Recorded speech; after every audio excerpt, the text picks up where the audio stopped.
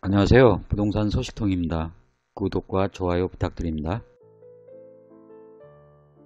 네, 여기는 경기도 양평군 지평면의 월산리입니다. 지평 막걸리로 익히 알고 있는 양평군의 지평면인데요. 월산리 마을에 전통 한옥 구조로 저렴하게 나온 금매 물건을 소개하겠습니다. 산뜻하게 포장된 마을길 따라 새로 신축되는 전원주택과 구옥이 예쁘게 펼쳐져 있는 월산리 마을이고요.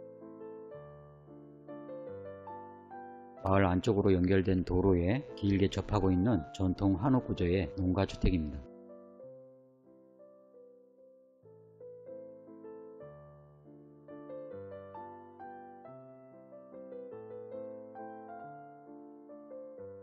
위성사진 보이시는 것처럼 노기산 아래쪽에 자리 잡은 예쁜 월산리 마을의 전경이고요. 마을 위쪽에 조망권 좋은 위치에 있는 전통 한옥 구조의 주택입니다. 지적도 보이시는 것처럼 마을길 도로가 길게 접해 있는 자리이고요. 대지 229평에 건평 17.5평으로 되어 있습니다만 실제 건물 평수는 20평이 넘어 보입니다. 계획관리지역에 가축사육 제한구역, 배출시설 설치 제한지역에 자연보전구역으로 되어 있고요. 하수처리구역, 수질보전 특별대책지역입니다. 수도권 전철 경의중앙선 지평역이 지평면 소재지와 함께 자동차 약 10분 거리 위치해 있고요. 보시는 것처럼 내부와 외부 올 수리를 마친 전통 한옥 구조의 주택입니다. 매매가 2억 5천만 원이고요.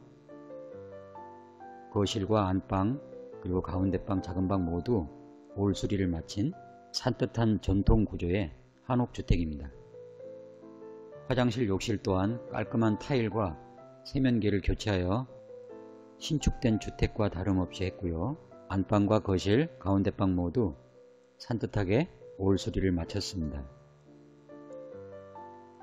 넓은 마당과 함께 넉넉한 공간의 전통 한옥 구조의 주택입니다. 창호 또한 최신 하이샤시 창호로 모두 교체하였고요. 대지 229평과 건평 17.5평으로 되어 있는 매매가 2억 5천만원의 전통 한옥 구조 주택입니다. 나츠막한 야산에 신축되는 전원주택들과 기존 구옥의 예쁜 마을 풍경을 갖춘 월산리이고요.